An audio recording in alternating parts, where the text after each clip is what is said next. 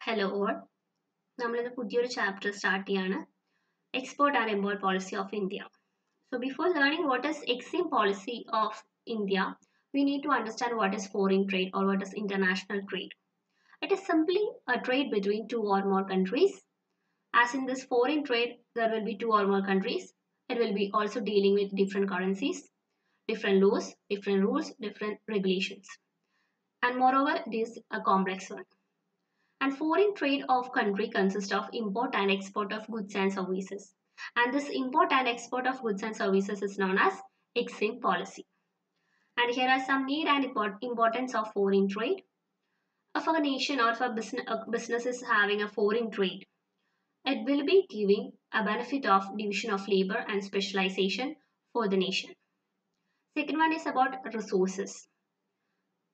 Optimum allocation and optimum utilization of resources can be done through this foreign trade. Next one is about equality of prices. Foreign trade always help to keep the demand and supply factors in a stable position.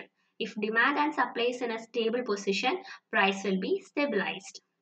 Fourth one is multiple choices. Consumer will be getting multiple choice of availability of products if foreign trade is taking over. Next one is about generate employment opportunities. Our business is expanding to another nation. Obviously, it will be providing employment opportunities. Next one is raising standard of living and helps for economic development. If we are doing foreign trade, more money will be coming to our nation and it will help for economic development. Assistance during calamities. If our nation is uh, doing a foreign trade between another nation, in our nation some calamities has happened. That nation where we are doing foreign trade, they will be obviously helping us during these times. So it is you know it is meant on this eighth point that is assistance during calamities. Ninth one is maintain BOP position, balance of payment. Balance of payment is uh, something related to export and import, right? So maintaining a BOP position will be done through this foreign trade. And if we are doing a foreign trade, obviously it will give goodwill to our nation and also we can earn more foreign exchange. And the last one is promote world peace. And its procedures export import procedures. First one we need to obtain a import export code iec and want to register with gst and central excise authority. Next one is to register with export promotion organization and uh, concluding an export deal. Export finance should be arranged.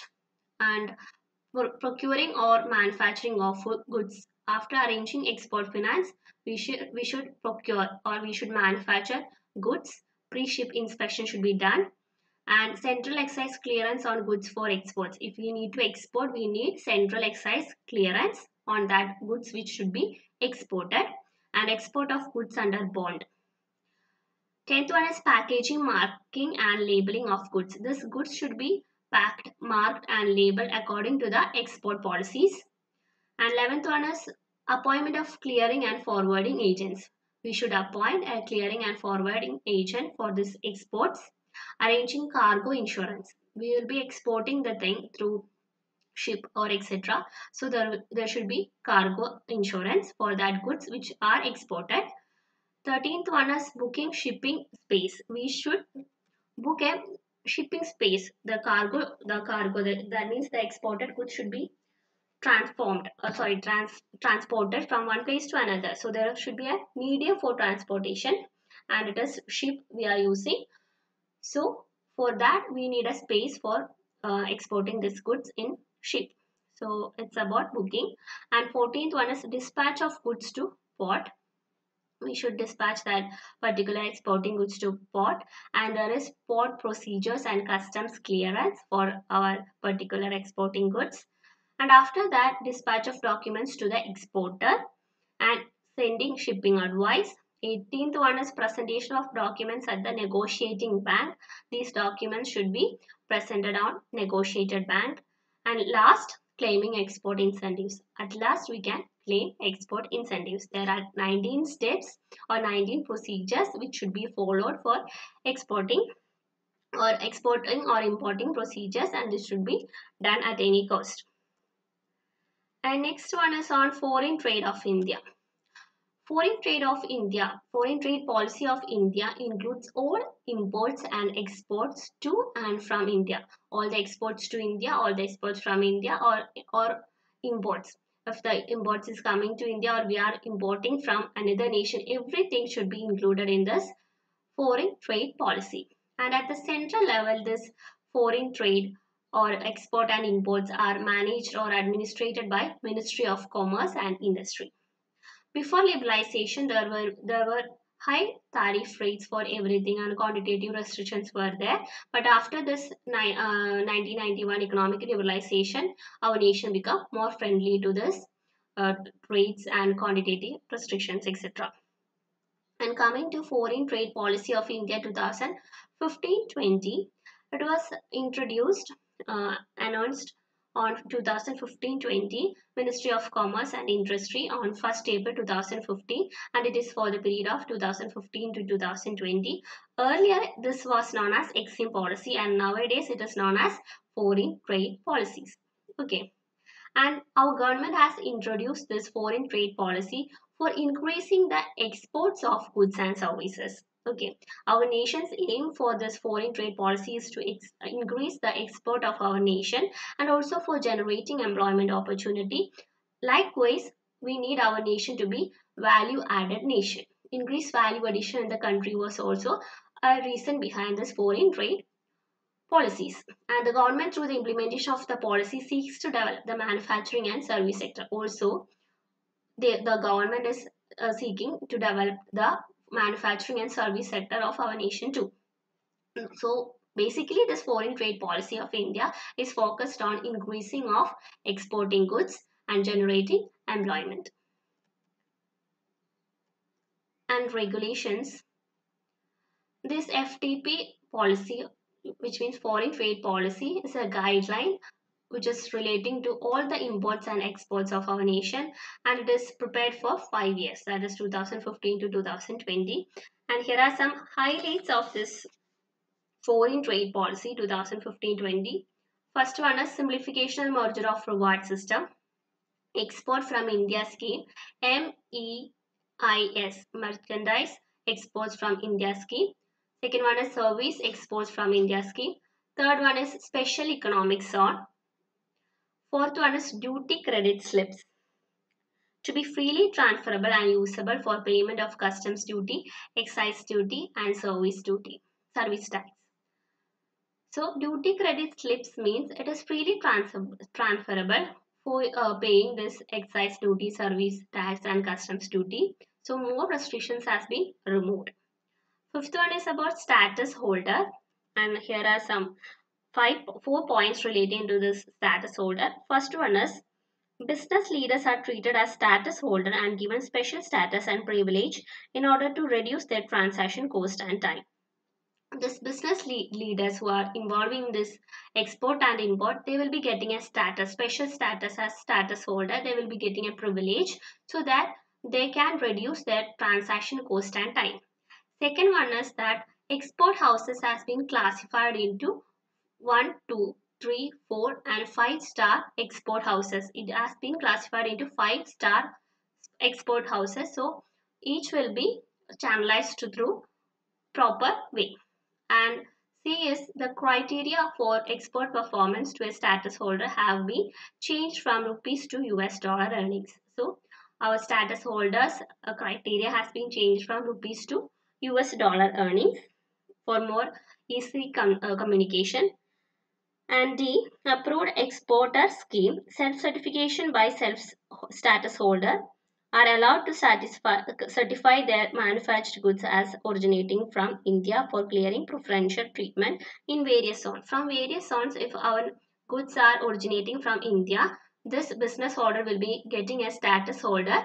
They, they will be uh, easily approved through the system, approved exporter system, there will be a self-certification by status holder that these products are manufactured or origin from India and this is treated as a preferential trade, trade uh, preferential right for them from if the, it is exported through various special economic zone or uh, export processing zone etc. And next one is boost to make in India. We know that Make in India is one of the proud project of our nation. So reduced export obligation for domestic procurement under EPCG export uh, promotion capital goods scheme. If they are, there will be export uh, obligation reduced.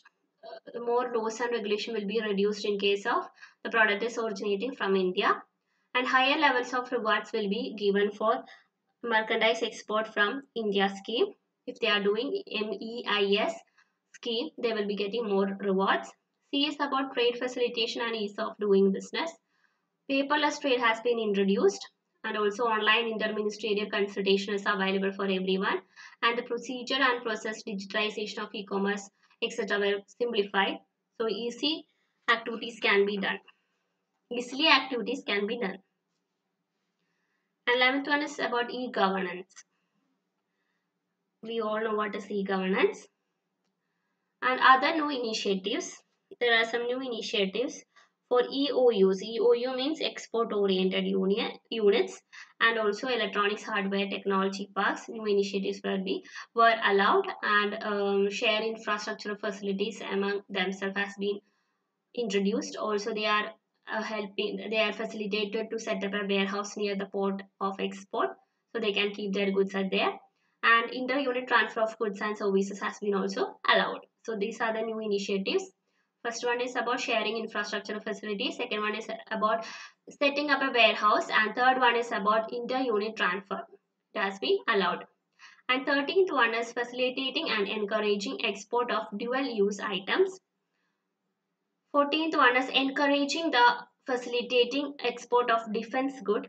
E-commerce exports various exemptions are given. These are some highlights, okay? These are some, some simple points. E-commerce exports various that we have already discussed. Uh, 16th one, duty exemption given in certain cases. Certain cases, certain duties has been given. Additional ports were allowed for export and import.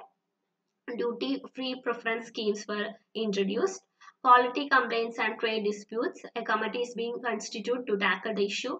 After there will be many problems relating to export and import and there will be a grievance system for them to solve their problems and Vishakhapatnam and Bhimavaram are added as towns of export excellence. And there are already 33 towns and more two towns has been also introduced. So these are the uh, schemes or important highlights of foreign trade policy 2015 and 20. And regarding the regulation of foreign trade, the Director General of Foreign Trade is the agency responsible for the execution of FTP in India. We know that there is foreign trade policy in India and it is administered by Ministry of Commerce and Industry in a central level and those who are responsible for the execution of this foreign trade policy is Director General of Foreign Trade and they will be having uh, regional offices across the country and it is headquarters at New Delhi and its functions entrusted with the responsibility of implementing the FTP. They are responsible for the implementation or the execution of foreign trade policy and they are the licensing authority for export and imports.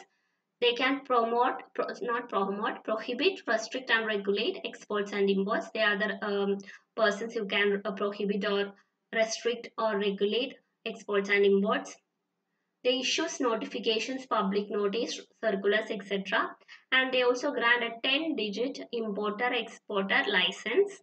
And they introduce different schemes from time to time regarding trade benefits throughout the country. So the functions are, they are the responsible one to implement the FTP and they are the persons who are giving license uh, to this export and import and they are the one who, are, who is regulating or restricting export and imports. They also provide informations notifications, etc. relating export and import. Also, they grant a 10 digit number, identity number for exporter and importer. That is importer exporter license. And last one is they uh, introduce different schemes regarding this foreign trade throughout throughout the year uh, throughout uh, our country.